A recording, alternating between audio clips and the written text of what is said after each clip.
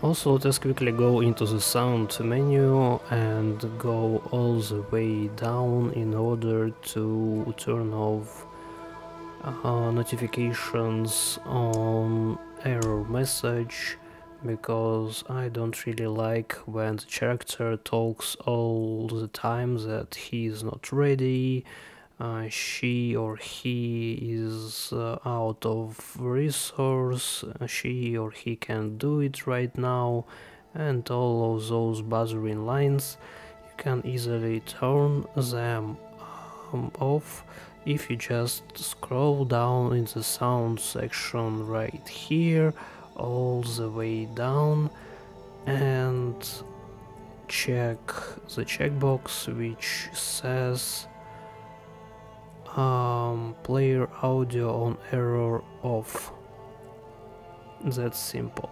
As you can see there are several options for this uh, menu item and the best one for me is to turn it off.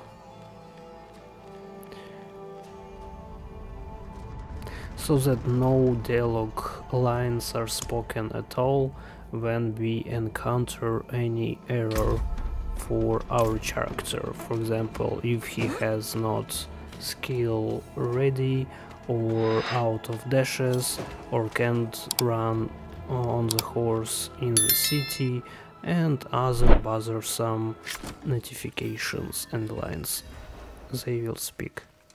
Subscribe to Casual Gamer Plays channel for exciting gaming content.